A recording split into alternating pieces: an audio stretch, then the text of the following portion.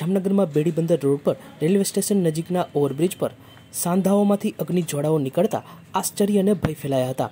Corporator નૂર મોહમ્મદ પાલેજા સહિતના સ્થાનિકો દોડી આવ્યા હતા. ફાયર બ્રિગેડને જાણ કરાતા તાત્કાલિક આગ બુઝાવતા મોટી દુર્ઘટના ટળી ગઈ હતી. પુલની નીચેથી સળગેલા ટાયરો મળતા તેને કારણે આગ લાગી હોવાનું અનુમાન થયું હતું. તો બીજી તરફ શોર્ટ સર્કિટની થિયરી પણ ચર્ચાઈ રહી છે. જામનગરમાં રણમલ તળાવ સંકુલમાં પ્રવેશ માટે પ્રવેશ ફીના ઓનલાઈન પેમેન્ટની સુવિધા આજથી ઉપલબ્ધ કરાવવામાં આવી છે.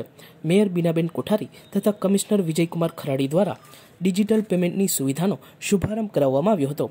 ઉલ્લેખનીય છે કે રણમલ તળાવ સંકુલ સાથે જ સરદાર વલ્લભભાઈ પટેલ એમ્યુઝમેન્ટ પાર્ક તથા રણજીત સાગર ડેમ પાસે આવેલ જામ રણજીતસિંહજી પાર્કમાં પણ આ સુવિધા ઉપલબ્ધ બની છે.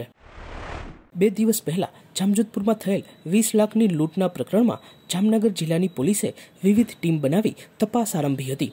કેટલાય સ્થળોના સીસીટીવી ફૂટેજ ચકાસાયા છે.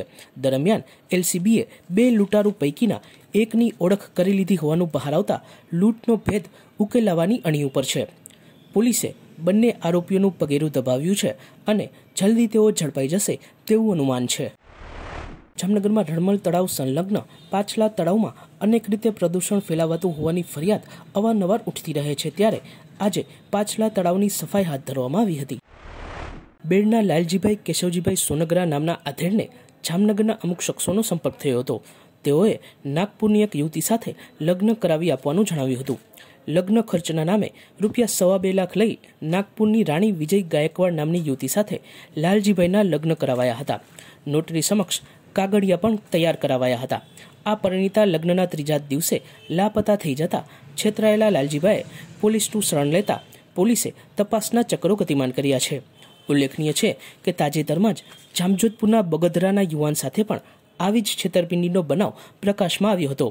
એ પ્રકરણમાં પણ લાપતા થયેલ દુલ્હન નાગપુરની રાણી નામની યુવતી હતી. બંને ઘટનાક્રમને જોતા બંને રાણી એક જ હોવાની તથા જામનગર જિલ્લામાં વિવિધ લોકોને લગ્નના નામે છેતર્યા હોવાની આશંકા પ્રબળ બને છે.